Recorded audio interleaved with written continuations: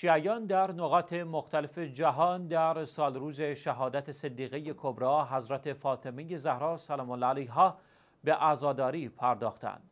با فرارسیدن سال روز شهادت بانوی دو عالم حضرت صدیقه کبرا سلام الله علیها به روایت 95 روز پس از شهادت پیامبر شیعیان در سراسر جهان با برپای مجالس وعظ، خطابه و سوگواری ضمن عرض تعذیت به ساحت مقدس حضرت مهدی عجل الله تعالی فرجه و شریف به عزاداری پرداختند.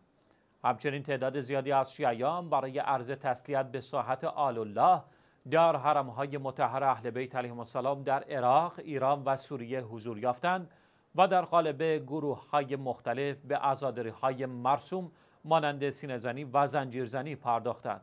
بیت بزرگ مرجع جهان تشیع آیت الله العظما شیرازی مدزله نیز شاهد برپای خیمه عزا با هدف احیای شعار فاطمی و حضور شیعیان و محبین اهل بیت علیهم السلام بود. در این مجالس که با حضور مرجعیت شیعه علما، فضلا، روحانیون، اساتید، طلاب و عموم محبان اهل بیت علیهم السلام برگزار شد.